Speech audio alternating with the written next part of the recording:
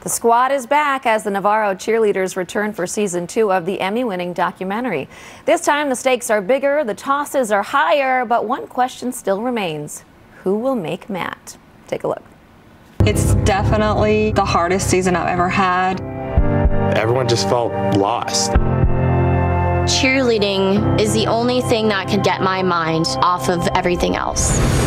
We go through this whole year grinding and dying and getting hurt just to compete. Navarro and Trinity Valley battling it out yet again.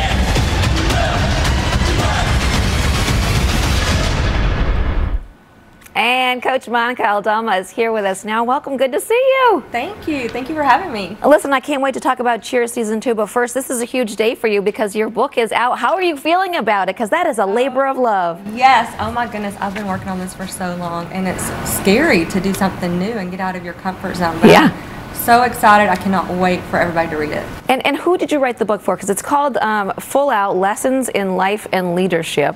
So, who did you want to write the book for to begin with? You know, I I just finished my 27th year of coaching, and so I've talked about writing a book for years, just because I had so many stories and experiences. And um, after Cheer came out, I had a lot of people reaching out to me wanting advice on everything, you know, from parenting to relationships to coaching. Um, to have how to have more self-confidence. So I thought, you know, this is really time for me to to write that book. And I have all this experience, you know, working with uh, young adults in um, different uh, techniques to be successful and what I think are the core values. And they really apply to everything in life. And I They wrote it for do. everybody. Yeah, you know what? And I'm just curious what you said this took you a long time to write. What was the hardest part for you to write about, do you think? Oh goodness, you know, um, probably writing about my divorce. You have to be very vulnerable, and I had to hold myself accountable. Yeah. Uh, you know, self accountability is such a, a big thing for me, and I have to do that for myself too. Yeah.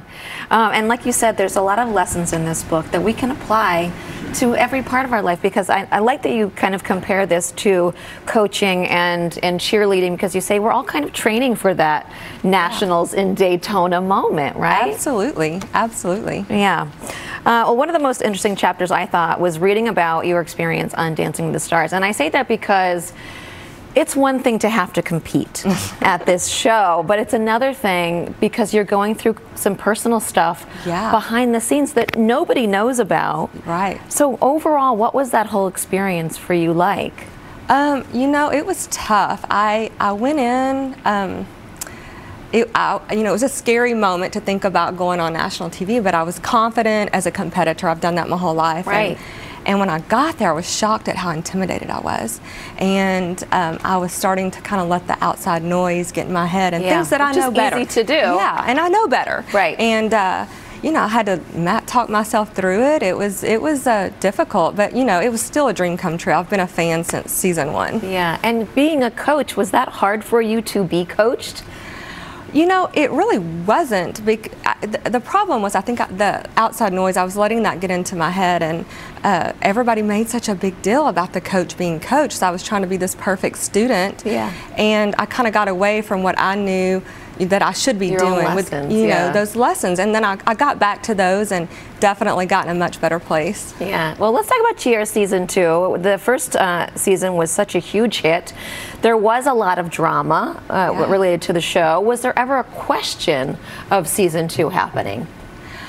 Um, no, you know, I thought that Greg Whiteley, the you know creator of the show, did such a great job of, of telling our story. We trusted him, and you know it was up to them if they wanted to come back and, and continue to tell our story, and they did. So yeah, And so, how did you keep all these kids grounded? Because now they're famous from this show. yeah, you know, I mean, it, it's really not that hard because I think when you um, come from circumstances where you have to overcome, Yeah. you know, you always are grateful for opportunities. So we always said we had an attitude of gratitude. Yeah, well, I love that, and I can't wait to see season two. I watched the last three episodes of season one again last night just to refresh, and I'm watching way more than I thought.